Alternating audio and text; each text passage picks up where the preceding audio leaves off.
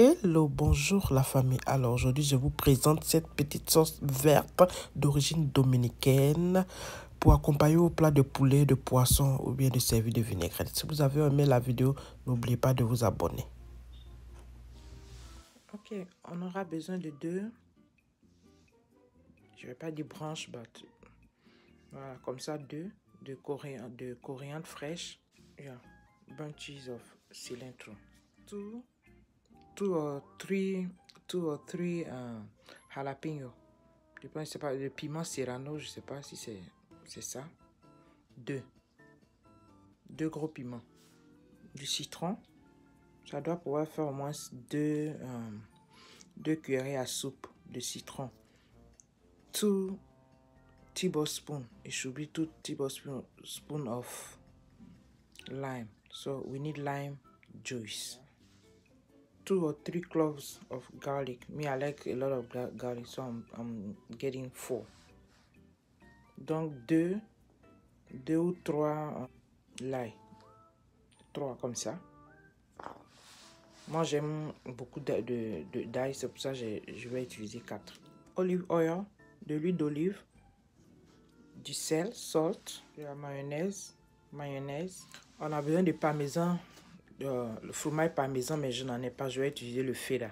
So originally we need uh, parmesan cheese, but we'll be using feta cheese because I do, I do not have any parmesan cheese. Vous aurez besoin d'un blender aussi. We need a blender, a good one, and uh, un élément comme ça pour garder le piment, uh, comment on appelle uh, la sauce à l'intérieur.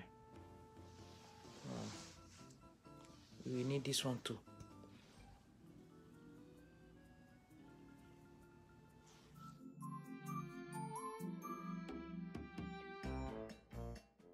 Ça on utilise pas cette partie I will remove that part. I'm not using it. Je vais pas utiliser cette partie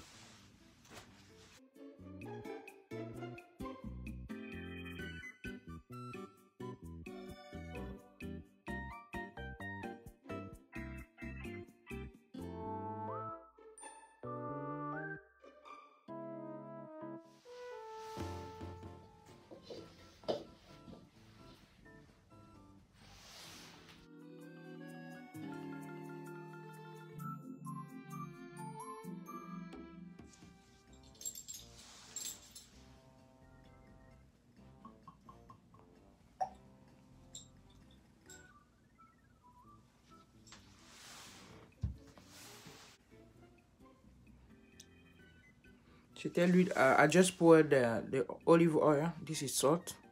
The salt is depend on you. The mayonnaise. Little bit of mayonnaise.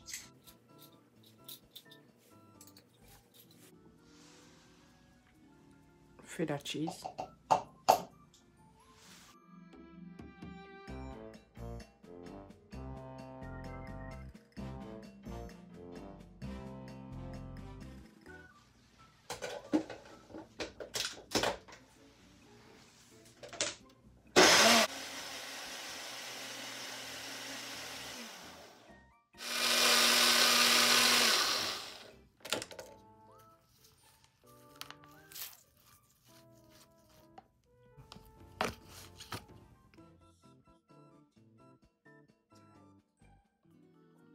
Tu peux manger le poulet. Hein. C'est une sauce passe-partout.